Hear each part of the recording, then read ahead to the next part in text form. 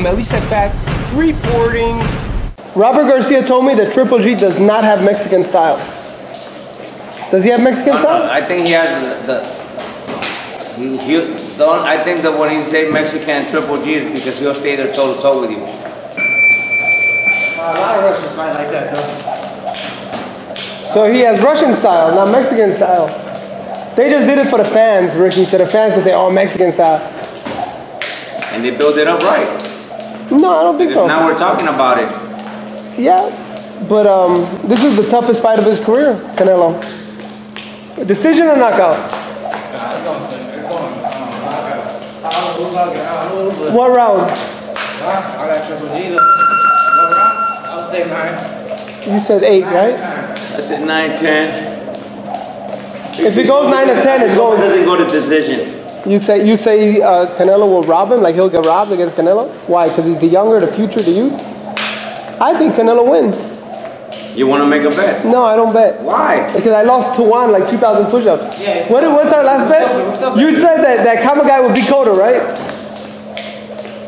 No, I. I don't know. How about Mikey Garcia Cotto? Uh, uh, uh, I know Mikey knocks him out. Move. No, I think Michael wins by decision. If the knockout comes, that's a plus.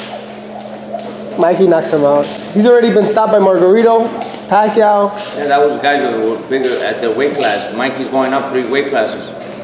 Yeah, but he, he sparred Maidana when he was 140, Maidana 175, and he broke Maidana's rib. Maidana cracks harder than. Fine, everything's different. And that's with 16 ounce gloves. A real fight, a different fight. It's a real fight. You can't be like. Broner didn't fight that way. Hey, Broner's tougher. Broner's tougher than uh, Cotto. hey, um, Who does who who are Cotto's last three opponents? hey, you seen that one fight when he was. Who are Cotto's last three opponents? I don't know, but Elie, you seen that one fight with uh, Cotto? He, I forgot who he fought. Well, he kept getting dropped, and he still came back to stop that guy. He got dropped like five times at least. He was hurt, like bad, he still came back to win that fight. You can't say Cotto don't have heart. Hey man, you gotta learn how to jump rope. Are you gonna jump rope like that the whole time? Come on. Why don't you teach him, Ricky? You know how. Look at him. Copy. You gotta learn how to jump rope, man. Teach Watch him, Ricky. Right here, like this. Teach him. No, teach him. He knows how. He's been here all week already. Well, show him once. Maybe he'll pick it up. Here, stand in front of me. Look at this. Stop. There we go. Yeah, that easy. See? I I can show you how to do it. You They're gonna have a good card on October 14th, huh? Yeah, New York. Three title fights.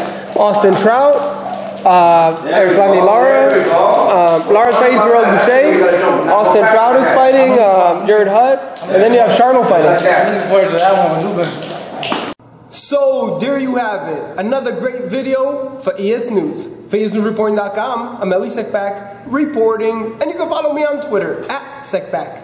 And you can follow me on Instagram at Elie Seckbach.